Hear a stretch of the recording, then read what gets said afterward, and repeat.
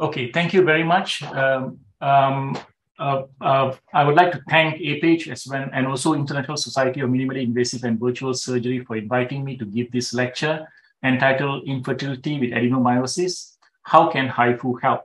Now, before I start this lecture, let me say that I am been only doing HIFU for the last one year, maybe 13 months. I started in July last year. And my experience is not as great as many of the other surgeons probably in the world, uh, especially those from China, uh, those from Korea, and also those from Taiwan. The only difference is that I am also a fertility specialist. I've been doing IVF for the last 28 years.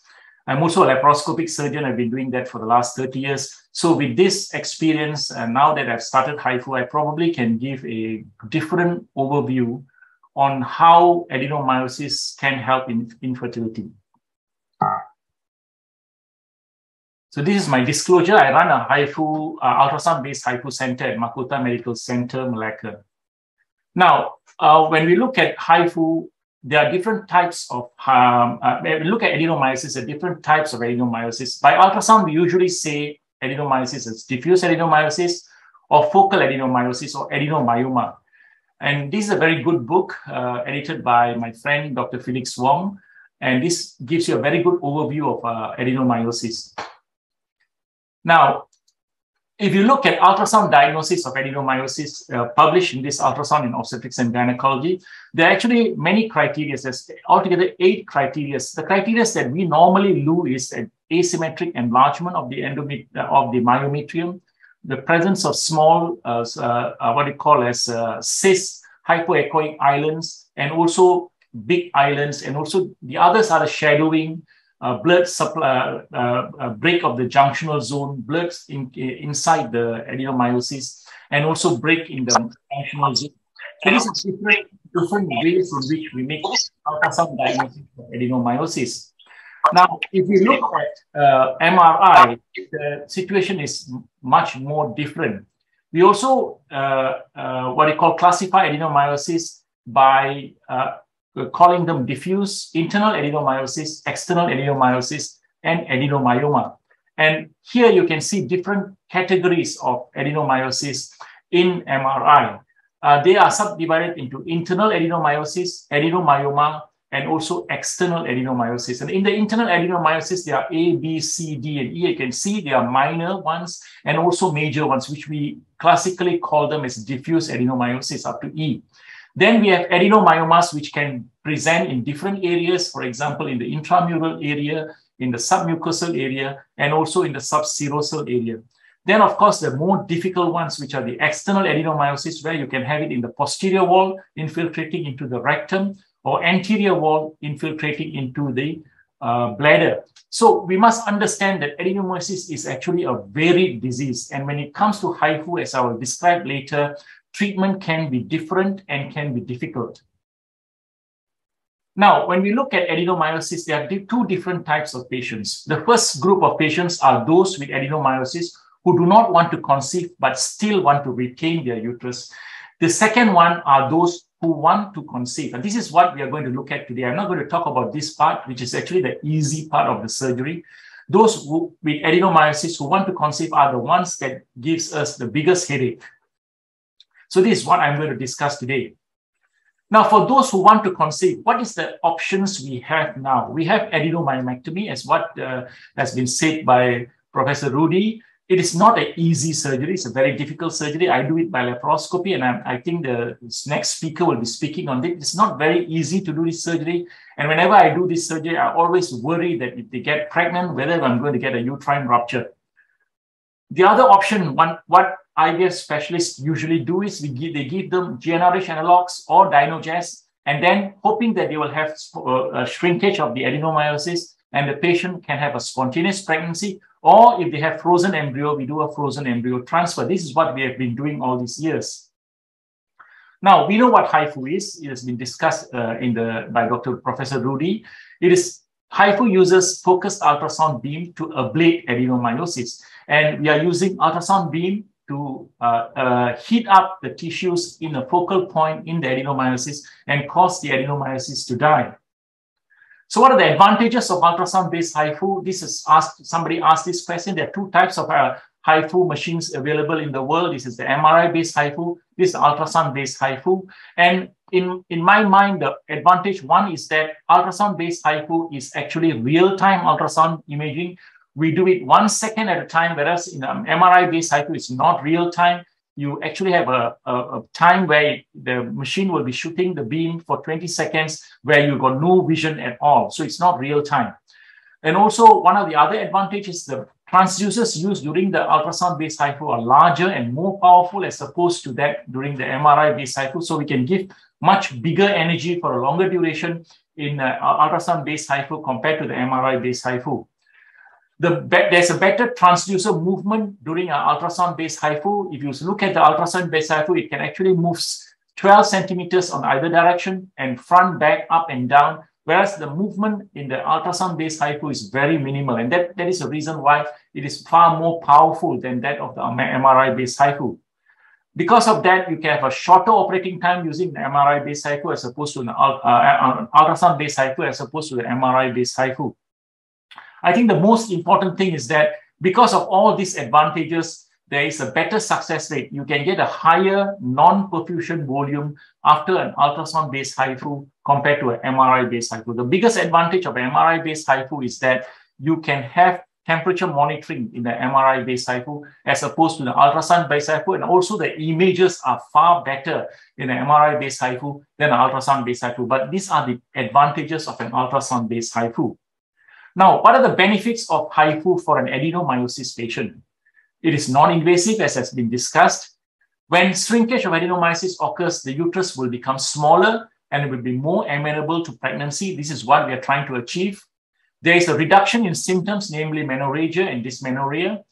The patient can start conceiving after about four months after treatment. When you see there's a shrinkage of the uterus, then the patient can start conceiving. And also the patient can even have a normal delivery after treatment because there's no scar in the uterus. And this is the big advantage compared to adenomyomectomy, where you have a big scar and we don't know what is going to happen. We definitely have to do a cesarean section, but we are worried that the patient may have a uterine rupture while she is pregnant.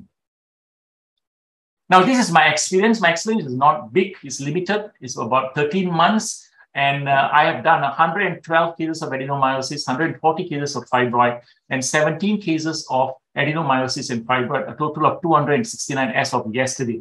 And here, this is the first HIFU case that I was doing with my teacher, Dr. Huang, who is now in Changsha. It's nice for her to come down and spend three months with me to teach me how to perform HIFU. And now I perform HIFU on my own. This is the HIFU center in my hospital. It's a small room with this machine in, the, in, in it. And uh, we do this surgery here uh, in Mahkota Medical Center. Now, what are the principles of HIFU ablation? What is the difference between ablating a fibroid as opposed to ablating an adenomyosis? And this is important because there are two different things, and the, the way in which we do is also difficult and different. Now, when we see a, fibroid, it's got a capsule, it's very well encapsulated. So when you give energy into it, it is, it is a, this a contrast MRI, and you can see that it's well encapsulated. So when we can give energy, the energy will be contained within the capsule, and you can maintain it. And you can see here, I've done I've done this MRI-based HIFU. We can keep the uh, energy within. This is another small fibroid. Now, this is not the same for adenomyosis. As you can see, an adenomyosis patient will have adenomyosis all over the uterus. If they're lucky, it's in one place. Like this patient has got an adenomyosis behind and also in front. And we must try and ablate as much as this, this uh, disease as possible. And so the ablation is difficult and, and, and can, be diff- uh, can be very uh, frustrating and difficult because we cannot get to every uh, area of the adenomyosis. So this is far different, far difficult and far different from that of uh, fibroid. Now, what is the difference in performing HIFU for patients who want to conceive and not keen to conceive? There are two differences. There, it's a big difference between these two. Now, for a patient who do not want to conceive, in patients who do not want to conceive, we can do extensive ablation can be performed, and this can even include the endometrial cavity. The success rate of reducing symptoms is higher in this case. So if the patient doesn't want to get pregnant, I can ablate as much as I can. And even involving the endometrial cavity. Although we, we try to avoid that, and we can do that kind of ablation. So the success rate of reducing menorrhagia and dysmenorrhea is far higher. As opposed to a patient who want to conceive, the ablation will need to be done more carefully to avoid ablating the endometrium. In this case, the ablation will be limited and the success in reducing symptom will be lesser as the energy will be given to the adenomyotic area. So this is very important because when we are doing endo, uh, adenomyosis patient in patients who do not get uh, want to get pregnant, it is different from that with the patient who want to get pregnant because the amount of energy that we need to be given must be very controlled so that if, if possible, we don't want to hit, hit the endometrial cavity. So I always tell my patient that if, if you want to get pregnant, my ablation will be will not be so extensive and your chances of the uh, getting back the disease will be much higher than if you do not want to get pregnant. So what are the challenges in ablating adenomyosis? So not all adenomyosis cases are the same. I showed you all just now that there are different types of adenomyosis in different positions and different areas, and not all of them are the same. And in some cases, there is a gap between the adenomyosis and the endometrial cavity. So that there's a gap between the junctional zone and the adenomyosis. In these cases, the chances of reaching the endometrial cavity is lesser. In others, the adenomyosis reaches up to the endometrial cavity, breaching the transformation zone. Here, it is very easy to reach the endometrial cavity. So the energy must be given, must be low and very controlled. And this can be very difficult. Now, I also, I always wonder whether oh, I wonder whether endometrium that has already been involved by the adenomyosis, whether reaching the endometrium will be beneficial as probably new endometrium will grow over the ablated endometrium. I've been taught that I shouldn't reach, but in many cases, so what if I reach the endometrium? If the, if the endometrium has already been affected by the adenomyosis, if I ablate it, will it be better? Will it be actually better for the patient? Actually, nobody knows the answer to this question. I can give you an example here. This is a patient with adenomyosis. She has an adenomyosis that is from here right up to the endometrial cavity. You can see that it's bulging into the endometrial cavity. And when I did the ablation as carefully as I can, it still reached the endometrial cavity. Now, this patient wants to get pregnant. Will her pregnancy be affected? Actually, we don't know. Now, here I can show you another case. This is a case of a, a, a, a patient with adenomyosis. This adenomyosis is quite extensive. As you can see, it is involving all around the endometrium. And this is the uh, MRI showing the adenomyosis. You can see that it is involving the front and the posterior part of the uterus. This is the ex this is my treatment. And when, when, when I did the treatment, it was very difficult. She was 39 years old, the doctor, and she she, she not sure whether she wants to get pregnant, she get married. And this is the ablation that I did. And you can see that even I, after how much I controlled, there was still an endometrial involvement. And this is the adenomyosis after three months. And three months, you can see that the ablation here has been and uh, has been uh, uh, has reached the endometrium, but not that much. And I was fortunate to do a hysteroscopy for her recently. And this is how the hysteroscopy looked.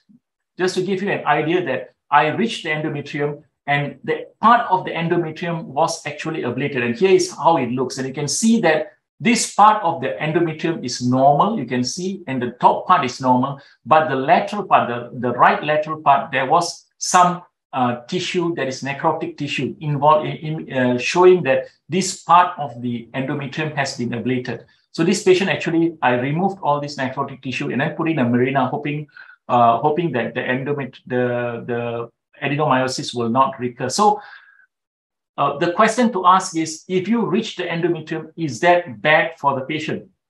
Can she get pregnant with this normal endometrium? And also, can this ablated endometrium regrow? In my mind, I think it will it will grow back, and she will probably this patient will probably has a chance to get pregnant.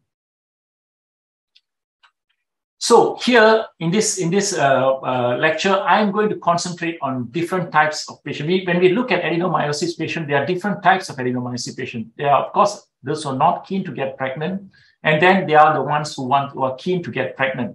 And those who are keen to get pregnant, they are I divide them to three types. One is a patient who has frozen embryo, and the second is the patient who is still single, and the third patient is a patient who is keen on spontaneous pregnancy. And of course, there's one group of patients who's uns- unsure whether she wants to conceive. These are the patients who are in the late 30s who are single, and we don't know whether they, uh, I mean, she, she wants to get pregnant probably if she gets a partner. So in this particular lecture, what I'm going to do is I'm going to concentrate on these two groups of patients with a little bit on this patient who still want to get pregnant. So these are the patients that we see in our practice as IVF specialists and also patients taking care of uh, who, uh, patients who want to get pregnant. So let's look at the first group, patient who has frozen embryo. I like this group of patients because uh, as I will tell you, these patients are the best for uh, the group who wants to get pregnant. Now, in this group of patients, we must ablate, the ablation need to be done very carefully to prevent involvement of the endometrium as I showed, as I showed earlier. And I usually give them GnRH analog for three months. And after three months, I plan that the embryo transfer should be done after three months of HIFU, irrespective of whether the patient has got her menses. Now, the reason why I'm doing this is at the, the, in the beginning, what I was doing is I was waiting for the patient to get their periods and then do the embryo transfer. And I realized that the time when the uterus is the smallest in size is at around three months, because that is a time when the effect of the GnRH is the maximum and also the uterus has shrunk to the smallest size. Although the, the, the uh, adenomyosis has not still is shrinking, but after that, what will happen is because the GnRH analog wears off, the uterus becomes larger. I'll show an example of a patient later. So I, in my mind, this is the best time to do the embryo transfer instead of waiting for the periods and then do the embryo transfer. Now, I'll give you all an example. This is a case study. This lady is Madam CLF a 35 year old lady married for five years with no children. She underwent an IVF in 2019 and she two frozen embryos. Uh, uh, she had two frozen embryos. She was given one dose of GnRH analogs after this frozen embryo depot, which is a three months one.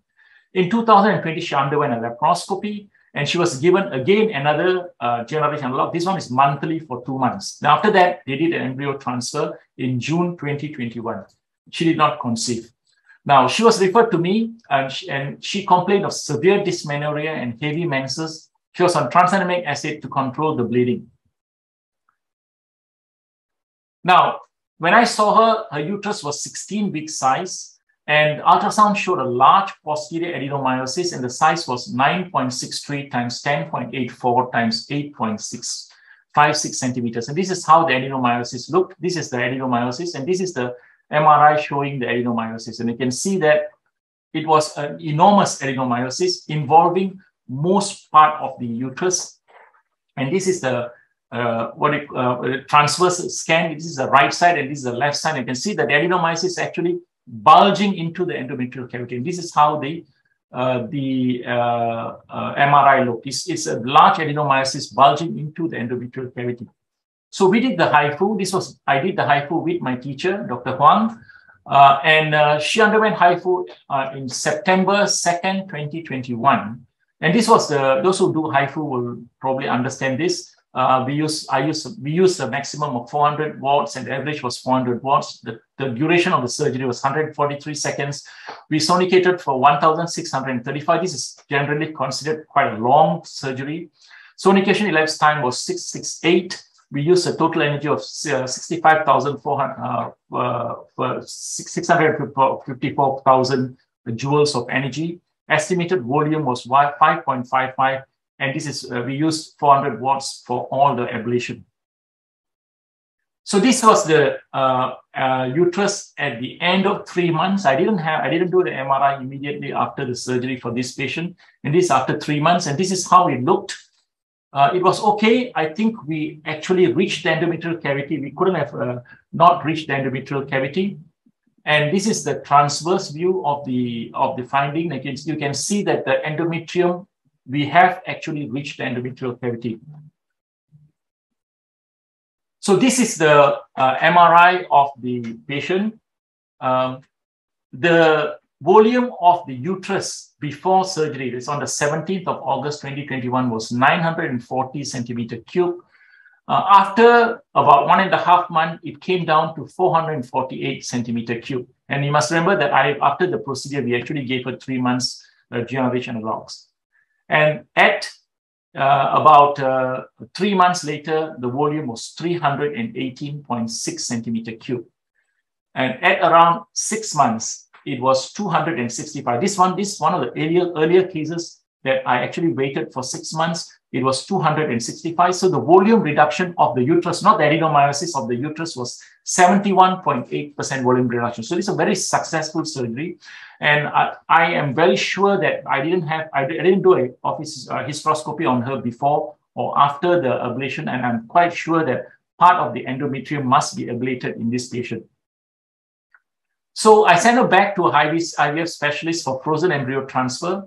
The IVF specialist actually repeated a CA125 and found that it was high. It was 76.6. So she gave her another course of generation analog uh, for three months. And the CA125 after two months reduced to 20.7 international unit after two months. And then she did an embryo transfer without inducing any bleeding. Um, she gave Progynova 2 milligrams three times a day for 11 days. And then she added Utrogestan and did the frozen embryo transfer on the 25th of June, just recently, 2022. And she just informed me that the patient is currently six, nine weeks pregnant. So this is my second case of pregnancy after uh, HIFU for adenomyosis. The first case is this one. Uh, before HIFU, another huge uterus, about almost 18 weeks size, both anterior and posterior. I did the ablation again. I must have reached the endometrial cavity. And this was at three months, the uterus shrunk. And uh, this actually at two months. And I immediately sent her to my friend uh, to do the frozen embryo transfer. He actually did the frozen embryo transfer. The patient actually conceived, but unfortunately she miscarried. So he has given her another GnRH analog and he's going to do a frozen embryo transfer soon. So the uh, HIFU, so in, in HIFU patient with frozen embryo transfer, the difficulty in these patients is to decide when is the best time to do the frozen embryo transfer. Uh, I am giving GnRH uh, depot, which is which lasts for three months after HIFU for my adenomyosis cases. The reason is that um, in my country, we include this into the insurance, and so it's paid by insurance. Uh, I know in China, my teacher tells me that they give monthly uh, uh, GnRH analog. So in my limited en- experience, the shrinkage of adenomyosis after HIFU and at, at, uh, and at three months, GnRH is the maximum and at the three months post HIFU. So when we give, uh, when we do HIFU treatment for adenomyosis, and then we give the three months GnRH analog, the maximum effect, the smallest size is actually at around three months. And that's the reason why I'm making the suggestion that, and, and, and after the uterus expand, after that, after three months, the uterus will expand due to the varying effect of the GnRH analog. And spontaneous menses usually occurs at four to six months after the GnRH analog. So currently, I'm advising all my patients frozen embryo transfer at three months post HIFU, even before the return of menstruation. So this is what I have been now uh, suggesting to my patient. So now let, let's look at the second group of patient, which is the patient who are still single. Now, these patients, we also need to do careful ablation without involvement of the endometrium. I also give them GnRH analog for three months. And then I ask the patients to, take one of the followings, either Mirena, Dienogest, Depo-Provera injection, continuous oral contraceptive pills, or Implanon. My favorite is Mirena, but many of these patients are single, do not want, and they are Virgo intacta, they may not want Mirena. So we will give them Dienogest. Depo-Provera is not something I like because it's very profound effect. Continuous oral contraceptive is another example. Implanon, I've never tried, but I think this is another option. But it is important for them to take one of these because as, as that, what Dr. Rudy said, however much we ablate the adenomyosis, I told you we can't do 100% of the adenomyosis. We may do 60, maybe 70% if we are lucky. Whatever remaining is going to come back. So we need to suppress those from coming back by giving this medication until the patient wants to get pregnant. So I'll give you an example of a girl that this is a 23 year old lady with a severe adenomyosis and the whole posterior wall was involved and even the anterior wall we did an ablation for her. This the MRI after one day, okay, decent and uh, ablation, not fantastic. And um, and this is three months later. It, it, it, it, it has shrunk very nicely. And this is my ultrasound findings. This is uh, before HIFU, the volume was 382.78 centimeter cubes. This was three months after the HIFU. It was 212.35 and then she disappeared. She didn't take any medication. She didn't come back. And 10 months later, and the reduction here is 44.5%.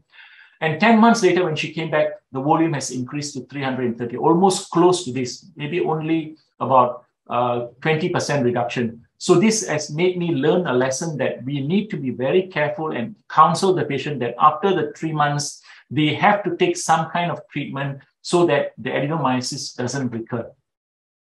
Now let's let me look at this group of patients, which I don't like, the patient who is keen on spontaneous pregnancy. So here also we need to be very careful in the ablation without involvement of the endometrium. And we, I give them GnRH analog for three months. If it is unable to conceive within three months, I strongly consider them as uh, assisted conception. Now, many of these patients have been married for many years and wanting to uh, uh, uh, get pregnant on their own. But if they don't conceive, then I will seriously have to talk to them that if you do not do anything about it, you will get your adenomyosis back. So you got to consider assisted reproductive technique. So here's an example of a patient. This patient has got a large adenomyosis. It was 13 centimeters by 7 centimeters, the whole uterus. I did ablation for her. I did a fairly good job. I thought it's an anterior adenomyosis. Anterior adenomyosis are easier to do than posterior adenomyosis. There was a question just now because it is more easily amenable and we can control the, the ablation and it, the chances of it involving the endometrium is also lesser. This one day after the HIFU, and this is three months after the HIFU. The uterus has shrunk, the adenomyosis looks very good, but I am worried for her. I, she wants to get pregnant on her own. I said, you go and try. If you cannot, by six months, I think you should do IVF. So this is the this is that same patient. Before HIFU, her volume of the uterus was 396 centimeter cube. Three months, it was 178, a reduction of 55%. I'm telling you, this is not the adenomyosis, but the whole uterus. There's a reduction of 55%. So I'm keeping my fingers crossed that she will get pregnant on her own. If not, we will probably have to advise her to do IVF. So in conclusion, adenomyosis is a very difficult problem. I think all of us know if you have a patient with adenomyosis, especially if the adenomyosis is large, it is a very difficult problem. It's more difficult when the patient wants to conceive. Studies have shown that success rate in reducing menorrhagia and dysmenorrhea is up to 85%. Not all adenomyosis cases are the same. In some, ablation is easy. In others, it can be very difficult.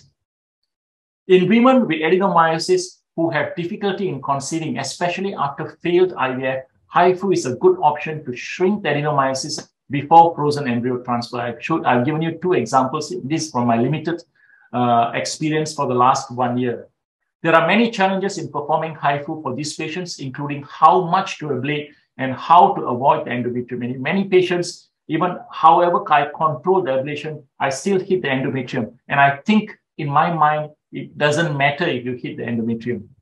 The next difficulty is to decide when is the best time to do the frozen embryo transfer. I am suggesting that it should be done at three months post HIFU. I've also learned from my colleague that we can use CA125 to decide whether it's uh, whether we can do embryo transfer. So uh, now routinely I do the CA125 before I do uh, ablation, and then just before transfer we do a CA125 again. And when the CA125 reach normal value, then it's a good time to do an embryo transfer. There's no necessity to wait for the next periods. HIFU can also be done in patients who have adenomyosis who want to conceive spontaneously but she must be prepared to repeat the HIFU treatment if she did not conceive and the adenomyosis because this is something that I keep repeating, telling my patients that if you don't uh, get pregnant fast, it will come back and I have to repeat the, adenomyosis, the, the, the, the treatment. And I also tell them that you have to consider IVF earlier in these patients. Thank you very much. Thank you, Dr. Selva, for that extensive uh, lecture. The floor now is open for questions. Um, let me see the chat box. The first question is from Dr. Silao. Dr. Selva, have you encountered fistula formation as a complication? Um, I don't understand fistula. Fistula from where to where? If you are looking at uh, uh, whether there will be fistulation from the endometrium to the skin, there is, it is possible. It is possible. I, I, uh, it has been reported. Uh, but other problem is bowel injury, of course, we, that Dr. Dr. Rudy has uh, has uh, has uh, said. So uh, I, I don't understand from where the fistula formation is it from the adenomyosis to the endometrium yes there will be there will be there will be some some kind of fistula there because the adenomyosis when it involves the endometrium the the, the disease from the adenomyosis will just as what dr rudy said will fall off into the endometrial cavity and come out to this uh, to the to the cervix okay thank you uh, just a follow-up questions regarding the involvement of the endometrium. If you have done extensive ablation in a patient who is not desirous of getting pregnant, uh, are there reported cases of a patient becoming amenorrheic? Currently, I, I am I have not read about it, but I think technically it's possible. So the, the teaching from the, the company that makes it, which is for Chongqing Haifu, is try not try to avoid uh, ablating the endometrium. We, we try our best to avoid. But in my mind, that will be a good thing. In fact, if a patient doesn't want to get pregnant, if you do extensive ablation and the whole endometrium is ablated, then you uh, for the patient not getting pregnant is a good thing. But I do not have uh, data to say that this is something that is that commonly happens. Okay, thank you. Uh, another question: Why is the recurrence of adenomyosis very fast after HIFU? Okay, as I said earlier, um, adenomyosis. Uh, when we do ablation of uh, any structure, for example, the fibroid or an adenomyosis, we have to have a safety margin. And the safety margin is given to be about 15 millimeters to 20 millimeters from the serosa and from the endometrium. So you can, you can understand that the endometrium, that the, the adenomyosis that we are ablating is within the adenomyotic area. So there will be a layer of adenomyosis that is all around the, uh, the, the adenomyosis. So you will definitely have adenomyosis left in the uterus, whether you like it or not. So that's the reason why I'm trying to emphasize that when we do treatment for patients who have who want to conceive and those patients who do not want to conceive, it is different. We can give more energy to patients who do not want to conceive to ablate more tissues. So you, when you ablate more tissues, whatever that is left behind will be lesser and the chances of it recurring will be lesser. Whereas if you are doing on somebody who want to get pregnant, you don't want to ablate too much because you're worried that it will involve the endometrium. Of course, you want to you want to involve the serosa because the bowel may be stuck to the serosa. You don't want to burn the bowel. So that is the reason why it recurs. How fast it recurs will depend on the experience of the doctor and the amount the, pa- the patient ablate, and of course the type of patient. That's the reason why recurrence rate is there. Uh, so if you don't want recurrence to occur, then you have to give medical treatment after the adenomyosis ablation. That's what I'm trying to emphasize. So if the yeah. patient does not want to get pregnant, you do say 60% of the adenomyosis you have ablated, you put in a Mirena in, that Mirena will cause no bleeding and hopefully the adenomyosis will take a longer time to recur. It will recur, but it will not be so fast. That is the advantage. Another advantage is when we give ablation, we are shrinking the uterus. So the Mirena will sit in the correct place. As opposed to a uterus that is 20 week size, you put the Mirena, it's not going to sit there. So there's a bigger advantage. So shrinking the uterus, so the chances of the Mirena sitting there and working will be better. So that's that's probably the biggest advantage of, of HIFU for adenomyosis. So one must understand that treating uh, adenomyosis is different from treating fibroid. If you kill 80% of the fibroid, if you have a non-perfusion volume of 80% of a fibroid, because it's within the capsule, the fibroid will die and shrink. It is not the same for adenomyosis. Adenomyosis is all over the place. You are only treating what is there. Whatever is you're not treated is going to grow back. And that is a that is explanation for it. Okay. Uh, another question: If the patient don't conceive spontaneously after HIFU, uh, plus three months of GnRH and six months of home coitus, no, or spontaneous, wanting to have spontaneous pregnancy, uh, would you repeat HIFU treatment before embryo transfer? Uh, I will have to see how well the treatment has been given and how the patient's symptom is. Probably when you do CA125. So it say, say a patient who wants to conceive undergoes uh, undergoes a patient undergoes high HIFU treatment, and and we give the GnRH analog for three months, and then we wait for a menses to come, which will probably take four, five, six months later. And then she tries to get pregnant for six months, and she didn't get pregnant. Then we have to look at the uterus, how it's, it is looking. If it looks good, say it, it doesn't look enlarged, then probably we don't have to repeat the HIFU. If it doesn't, which I think will, that is what it's going to be because it's going to grow back, then you probably have to do another HIFU treatment before you can do a frozen embryo transfer. So I think in, in my mind, uh, the best patients are the patients who have undergone IVF and have done an embryo transfer and failed, and they come to you. So they have got no other choice. The patients who have not had an embryo transfer, I will always talk to them and see if the uterus is 20 week size or 16 week size. I think there's no question that we have to do a uh, HIFU. But the uterus is say 14 week size or 12 week size. There's a small focus of adenomyosis in the uterus.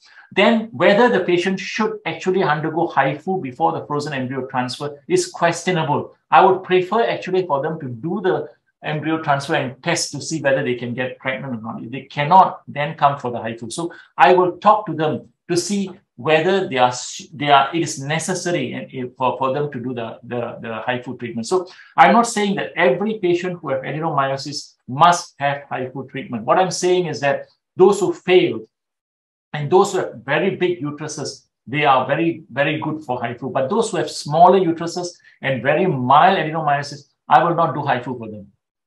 Okay, thank you.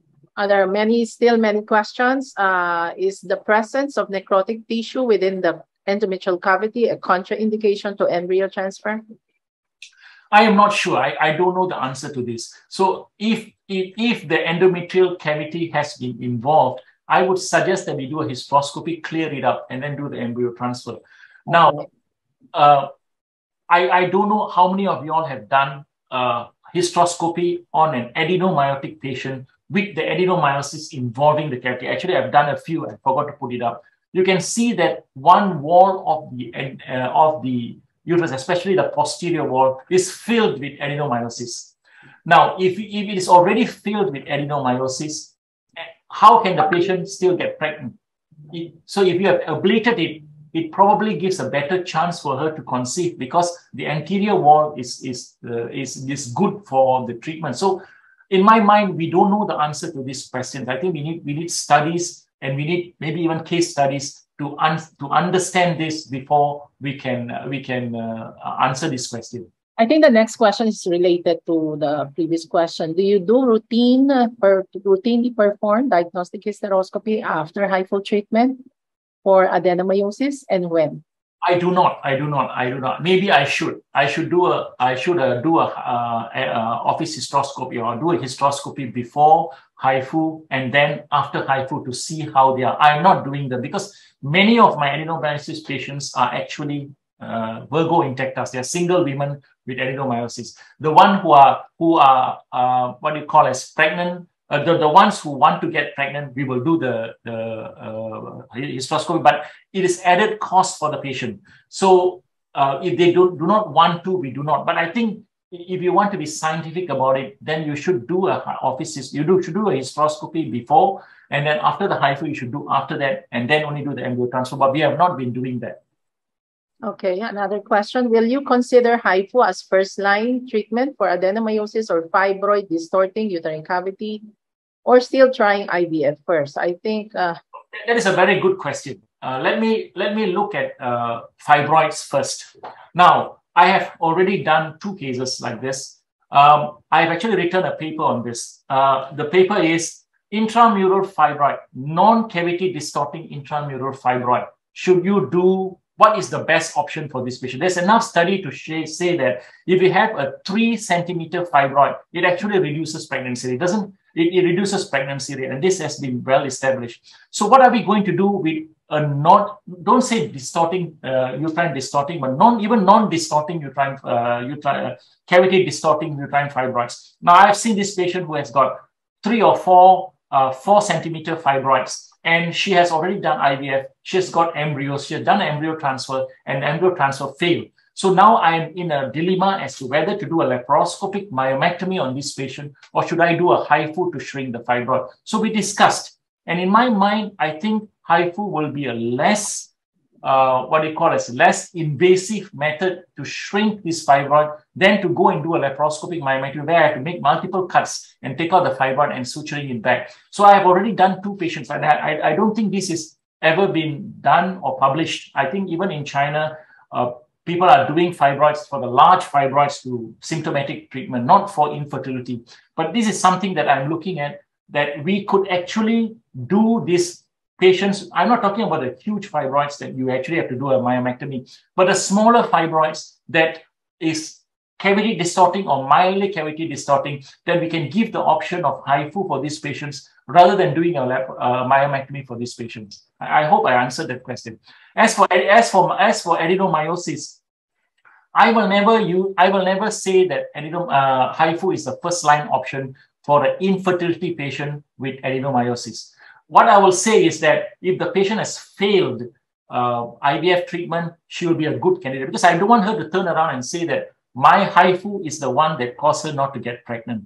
So I would be very happy if they have failed everything and then they come to me, I do HIFU. But we also see patients who are young, say like the girl I showed you, a 20, uh, 23 year old or 24 year old with uh, adenomyosis, and she's suffering from pain and menorrhagia. Will I do HIFU for her? Yes, I will do HIFU for her in the hope that later she will be able to get, uh, you know, married and get pregnant. So I will not say that HIFU is the first line treatment for adenomyosis. Uh, what, what I will say is it's an option I'll give the patient. If I could treat it by medical treatment, I will do that. I will give her Dienogest, Depo-Provera injection, Mirena, whatever. And if she's still resistant to that treatment, then I will consider HIFU. I, I hope I answered, answered that question. We will we don't want to use HIFU as first line. What, what, what we want to do is that for patients who are refractory, we will consider HIFU. Okay, uh, question from Dr. Dean. Uh, he said, uh, what an inspired speech. I have two questions. The first question is about the timing of embryo transfer after HIFU. Why the size of adenomyosis matter rather than the regain of MC? Then the second question, let's say a patient with diffuse type adenomyosis get pregnant after HIFU. What is your recommendation for her way of delivery? Why is uterine rupture a concern for this kind of patient by home? Okay, let me look. I, I have to look at the question again. I am seeing it. What about timing? Okay, why does the size of adenomyosis matter rather than the rather than the rather than regain the what is MC? Regain of MC, menstruation. Okay. Uh, um, in, in my mind, I think the size does matter. Um, uh, when we do ablation of adenomyosis, we are trying to kill the adenomyotic tissue. And also, we want to shrink the uterus. In my mind, the larger the uterus, the larger the uterus, I, I don't have the evidence, larger the uterus, probably implantation rate will be lesser. I, I, I cannot give you evidence-based medicine for this. Um, the, the smaller the size of the uterus, probably it will be less, uh, less, uh, what do you call as less, uh, better, probably there'll be a better chance of uh, pregnancy. I am not sure whether that is that that that, that is a, a valid statement to make. I don't think anybody can tell you that. So that is the reason why I want the uterus to be as small as possible for uh, for embryo transfer, rather than making it grow back and then do the embryo transfer. So to uh, to to give you a proper answer, I don't know whether that, that is that is the, that is the right thing to do. But in my mind, that probably is a better option than waiting for menstrual cycle when the uterus grows back and then put the embryo transfer. So let's say a patient with diffuse type adenomyosis get pregnancy after HIFU. What is your recommendation for a way of delivery? Why is uterine rupture a concern for this kind of patient? Yeah, in my mind, I think I, I mean, there are enough uh, evidence, there are enough studies, there are enough patients who have delivered uh, normally, uh, who a patient who have undergone HIFU for adenomyosis. So, because we are not uh, disrupting the serosa, at least the serosa, probably the endometrium we would have disrupted, but the serosa, I think her chances of having a uterine rupture is not is not high. So she could deliver normally, and there are many patients who have delivered normally, but this is not randomized control trial. It's just case studies and in fact, uh, I didn't put up those case studies, but there are enough patients who have actually delivered normally. Okay, I think I've answered that question. Uh, okay. Because of the time constraints, uh, Dr. Selva will just answer the the questions no through the chat box. Thank you very much. Uh, thank you, uh, Dr. Selva. I will now turn the floor to Dr. Dean.